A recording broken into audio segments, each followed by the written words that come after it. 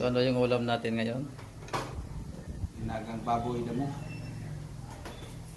Lagang baboy damo. Kasi ito, baboy. Ito, damo.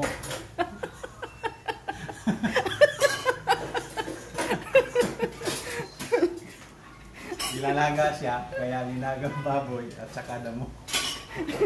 Ay, baka ayaw nilang maniwala niya na baboy damo talaga to. Kasi, hindi totoo talaga baboy damo talaga. Ayan. Ito talaga baboy damo yan. Ay, anong pinagalingan niya? Hmm, ito, yung baboy damo. Galing pa to ng probinsya ng ano. Inuli pa to ng Cambodian tribe. So, Yan na, oh, marinit na. Ganda ng kulay, no? opo.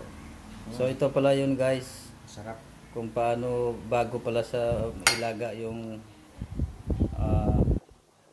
lutuin yung nilagang ng baboy damo para mas masarap siya at saka malinamnam kailangan pala munang i marinate no Mm. opo Tapos yung i Mm. sa napakulo ang tubig. Slice, tapos Ah, pakuluan sa muna ng tubig and then tapos slice. slice Lagyan and ng kalamansi. lagyan ng kalamansi Lagyan ng ah, kuntang ah, asin. Ayan. At saka, yun na. yun preparation yan para mamaya sa paglaga ng Ayan, ah, ilaga natin yan. Yan, ito yung mga ingredients niya, ano to? Langka sa Cambodia. Ayan. Ayun.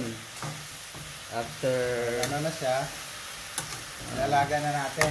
yan, lagyan na ng after few minutes, lagyan siya ng ano yan, water. Ayan, tubig. Ilaga na natin para mag, hanggang makulo at palambutin ang meat. Linaga. Ah, yun yung, Hindi tayo gumagamit ng tomato. Ito yung pangpaasim natin. ah, okay. Itong dahon ng libas. Libas. Libas 3. Hindi ko alam kung alam nyo yan guys. Oh. Yan ang gamitin ng chef cook natin. Pang paasim. Gumagamit sila ng mga traditional way. After 30 minutes or more than 30 minutes. Lambot na? Okay, lampot na. Okay, ngayon So, malambot na. lagyan na natin yung langka. Lagyan natin yung langka. Ito yung bunga ng langka. Okay. Tingnan natin kung malambot na ang langka. Okay, lambot na. So, ilagay na natin yung pampaasim. Kasi kailangan ng langka maglam, malam, mag, ano siya muna, maglambot. Bago mo ilagay ito. Kasi pag mauna ito, titigas yung langka. Ah, okay.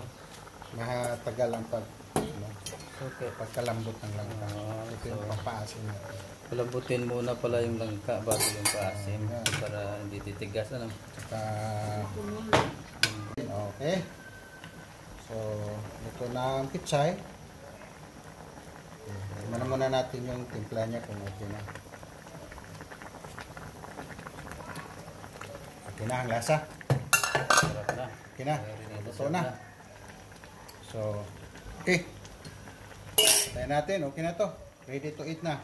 Okay. Linagang baboy. Baboy na damo. Kain na tayo kasi luto na. Ah, enjoy na natin yung pagkain ng baboy, linagang baboy damo.